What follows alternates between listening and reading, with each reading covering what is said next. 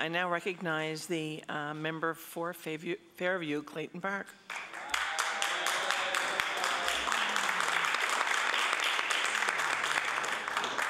Thank you, Madam Speaker. It is an honor to be standing here today among such an inspiring group of colleagues representing all parties. Madam Speaker, I would like to begin my remarks by congratulating our Premier and all honourable members for their dedication throughout the campaign. The time and commitment required to run an election, win or lose, is really something that should be commended. I would like to particularly acknowledge those candidates who ran in Fairview Clayton Park. NDP candidate Abad Khan, Conservative candidate Travis Price, Green Party candidate Raylan Kinley, and Independent candidate Katie Campbell. Ours was a clean campaign, and it was truly a pleasure to address the needs of our riding alongside such caring and compassionate candidates. My interest in politics came at the age of 12 when my father's good friend and former Speaker of the House, Jerry Fogarty, ran as an MLA in the riding then known as Halifax Bedford Basin. My father had volunteered to help on Mr. Fogarty's campaign and volunteered me along with him. From that successful campaign, I was hooked.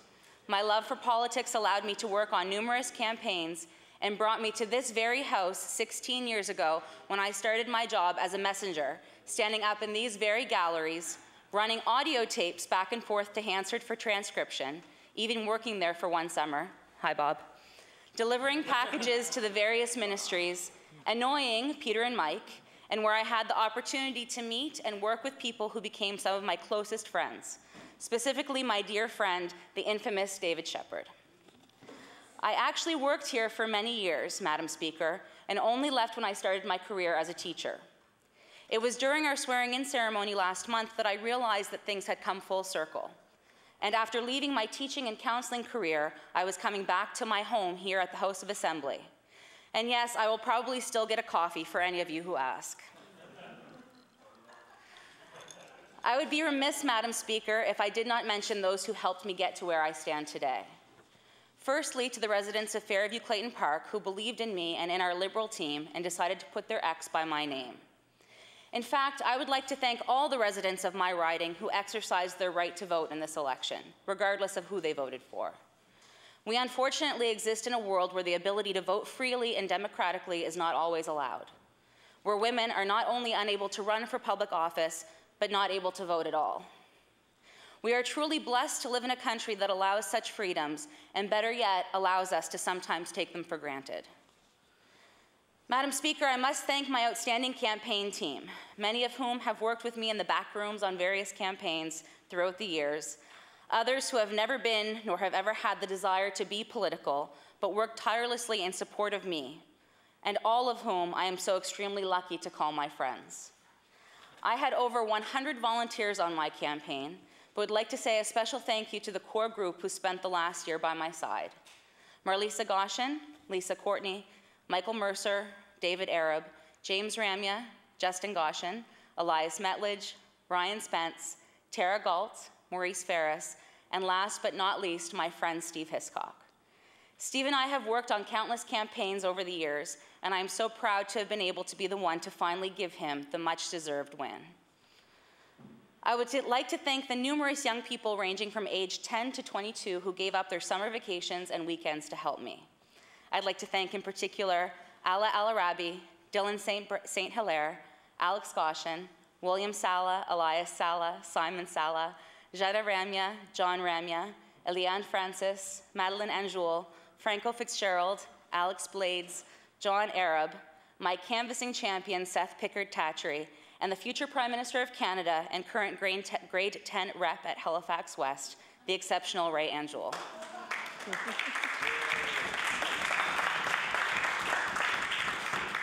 I'd also like to give a special thank you to my cousin and official agent, Diana Metlege.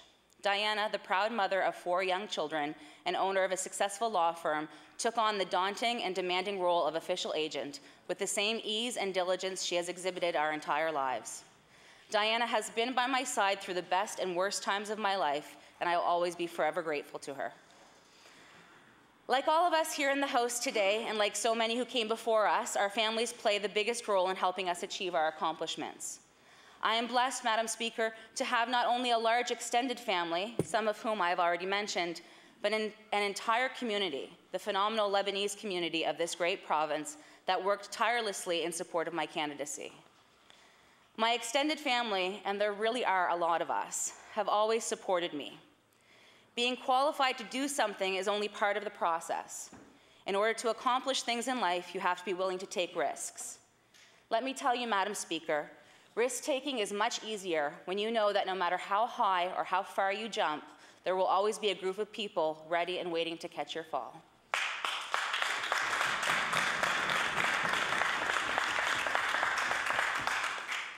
Not only did I have loving parents and siblings, I had aunts and uncles, both here and in Lebanon, who helped raise me, who taught me right from wrong, and who encouraged me to always reach for the sky. As the youngest of 31 nieces and nephews, I had an instant entourage of friends and supporters who continued that support in full force when I told them of my intentions to run for public office, even the four card carrying NDP members. Madam Speaker, I'd like to give a special thank you to my cousins Wadia and Kathy Ferris, both of whom have mentored me in the art of life and the pursuit of my goals, no matter the obstacles. My sister Paula, who spent the majority of her vacation home this summer helping me on the pre election campaign trail, and whose love and support radiated across the country and into my heart throughout the entire campaign. Although she was not physically here, her presence and faith in me was felt every day. My brother Peter and sister in law Leona, who kept me grounded throughout this whole process and continue to do so as I begin this journey, always making sure that my feet were firmly planted in truth, integrity, and good common sense. There are three children my niece Rachel and my nephews Philip and Peter. These three remarkable children mean more to me than I could ever express in words. They are each unique and exceptional in so many ways and help to bring light into my life and a laugh in my heart no matter the challenge I face.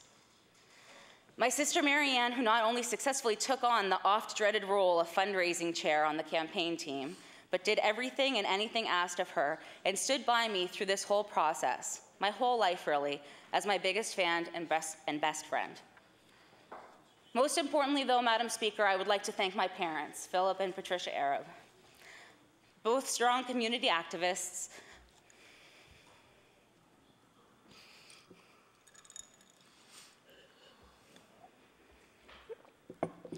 who taught me from a young age that it was my duty to give back to our community and to advocate for those who needed help.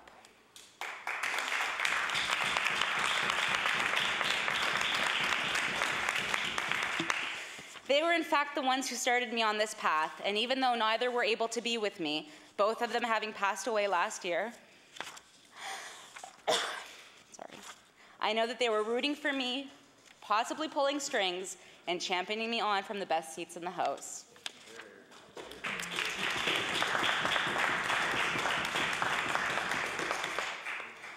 My parents were truly remarkable, helping anyone in need, from new immigrants to our neighbors to those in our church community and everyone in between. There was never a time when I heard my parents turn some, someone away who needed help. Even in the last few years of their lives when illness had limited them, it was never able to limit their desire to help. I know that my parents would be proud of me today and proud specifically of the riding that I am so lucky to represent. Fairview Clayton Park embraces the true essence of what my parents were all about, Madam Speaker. It is a riding rich in diversity and steeped in history. Politically speaking, it is brand new, comprising of the four ridings of Halifax Chebucto, Halifax Fairview, and Halifax Clayton Park.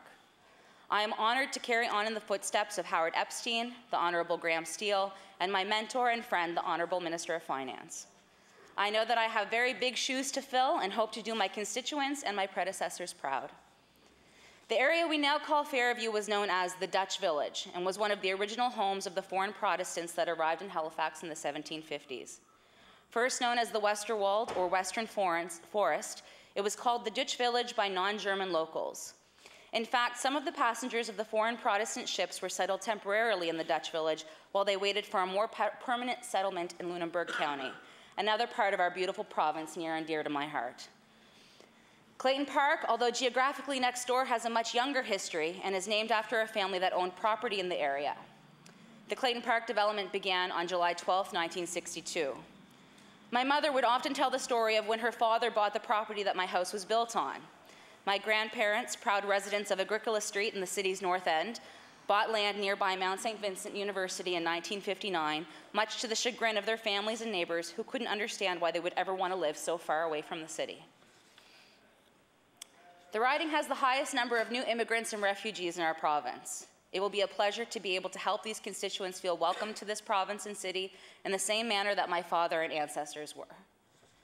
Fairview Clayton Park is home to Halifax's first suburban shopping centre, the Bayers Road Shopping Centre, and was home to one of Halifax's first suburban high schools, the original Halifax West, which was opened from 1958 to 2000 and was my alma mater. Fairview Clayton Park is also home to a number of notable Nova Scotians, including Joel Plaskett and the members of his band Thrush Hermit, as well as Chris Murphy, Murphy and the members of the band Sloan. Not only is it rich in history, Madam Speaker, my riding is also an up and coming community here in Halifax. We are on the verge of very exciting things, and I am so proud to be able to be a part of this evolution. I'm proud to be able to work with our city councillors and with our federal counterparts to make sure that the residents of our community are well represented on all levels of government. I'm also proud to be a part of this Liberal team.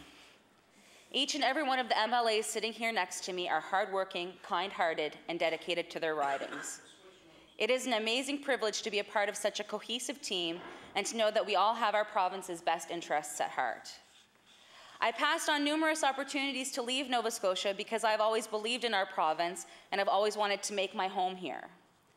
As a teacher and a counselor, I've had the privilege of working in inner city schools as well as some of the best rural schools in our province.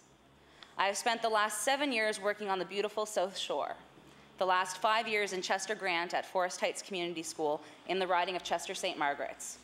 I'd like to thank the students and staff at Forest Heights, as well as the members of the Chester, Hubbards, Mill Cove, Tancook, and New Ross communities for their unofficial support of me, and I hope they know that they now have two representatives in this House. Being a teacher, I understand firsthand the issues facing all of those involved in the education system in our province. Our education system is not reaching its full potential. We must assess the quality of the curriculum that is being delivered and divert resources for our students. It is time that we view our children as our most important resource, our most important investment. I've also been a certified Canadian counselor for the past seven years and have worked as an advocate for preventative mental health in our province. As I spoke to the residents of Fairview Clayton Park, I heard firsthand their concerns surrounding the mental health issues facing so many. We have existed for far too long in a reactionary we wait for a crisis to occur and then bring in supports. We throw around mental health terms in our day to day lives without understanding the true meaning and overuse these words to the point of ineffectiveness. We need to look at our mental health in the same way that we are encouraged to look at our physical health. And we need to break down the taboos surrounding mental health issues and free ourselves from the shame attached to them.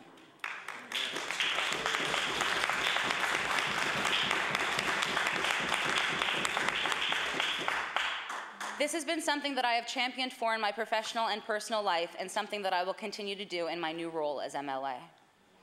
Madam Speaker, our new government knows that there are challenges ahead related to our economy, our population, rising healthcare costs. That is why I'm proud that we will be investing in education, making smart investments in our economy, and focusing on patient-centered care within our healthcare system. I am looking forward to helping build a better Nova Scotia and being a strong voice in this House for the constituents of Fairview Clayton Park.